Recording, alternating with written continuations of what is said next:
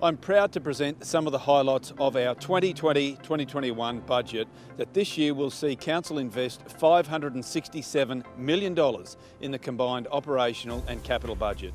As part of the budget, we also adopt the 2020-2021 operational plan for the coming year.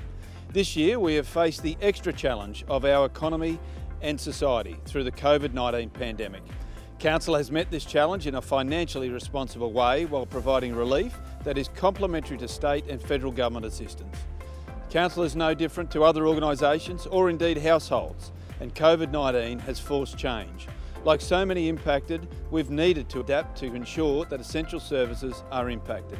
For Council to maintain its long-term financial sustainability, we will see a general rate rise of 2.5%. This increase is consistent with our previous financial plans and has enabled Council to provide support measures as we navigate through the pandemic as a community.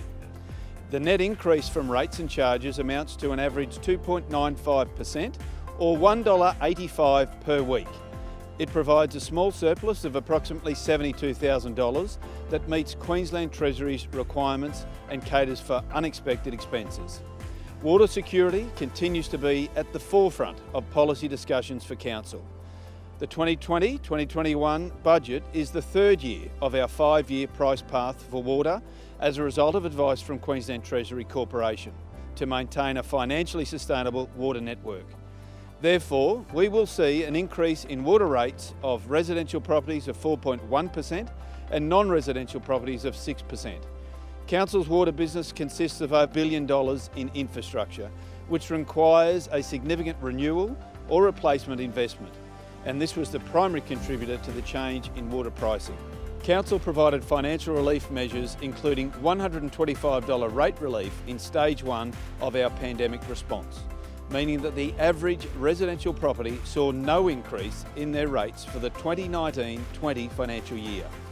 The 2020-2021 budget will see the next pandemic response and has a focus on stimulating our local businesses who employ local people supporting local families. Council has, for the first time, separated our overall Capital Works program into two parts. The total Capital Works program of $215 million includes $165 million annual capital works with an additional $50 million structured as a pandemic response investment to provide genuine opportunities for the private sector.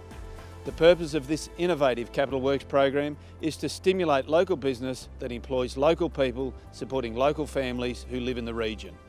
The $50 million Works program will see 64 shovel-ready projects made available to the private sector through our procurement arrangements. Council's budget will support the community through this challenging time, but thankfully we will not leave a burden for ratepayers in the future. I'm very happy to support this year's TRC budget, delivered in extraordinary times because of the worldwide pandemic, but able to be delivered in a responsible manner primarily because of the sound financial position of this region's council.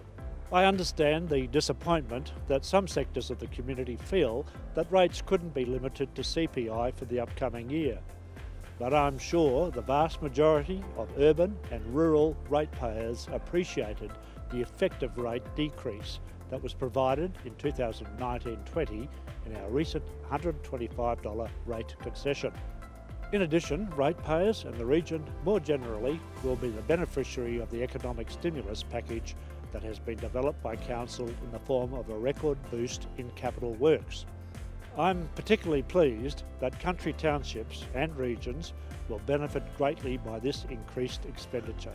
The Capital Works program and the services provided to the community are in a large part responsive to the feedback from the community as a result of community surveys taken over the last couple of years. Council's awareness of the community's expectations has been greatly informed by responses to our website. In fact, each month has seen more than 300,000 page views and the Council's social media pages are attracting more than 55,000 followers.